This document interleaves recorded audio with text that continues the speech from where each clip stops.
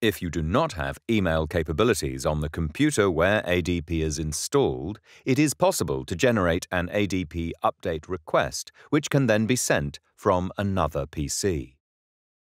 To do this, open the ADP Data Updating Wizard through the Start menu or desktop of your computer.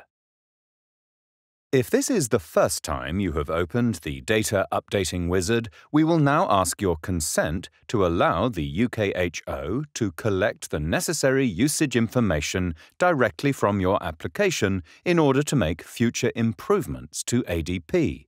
This information is anonymous and individual users will not be identified read the message in the window that has appeared and choose the relevant option, confirming that you agree or you do not agree for the information to be collected. The Data Updating Wizard Welcome screen is now displayed. Choose the Obtain Updates from the Admiralty Web Service option and then click Next. The Choices screen is now displayed.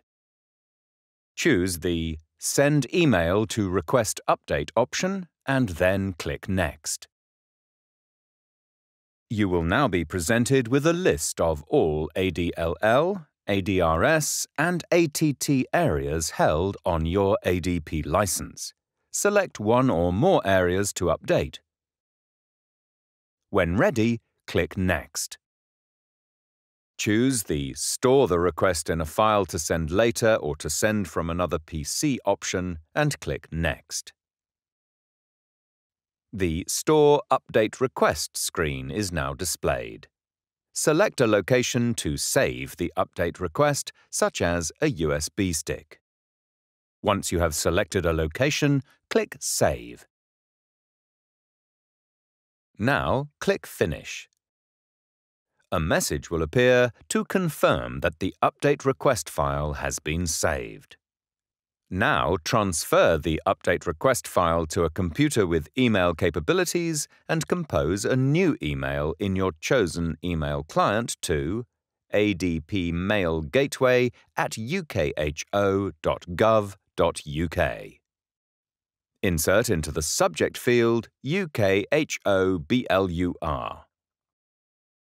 Attach the update request file.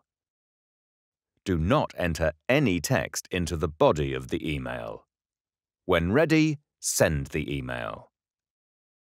Providing your update request is sent correctly, you should receive an automated email within minutes containing your ADP updates. Once this has been received, transfer the attached ADP updates back to your ADP computer for installation.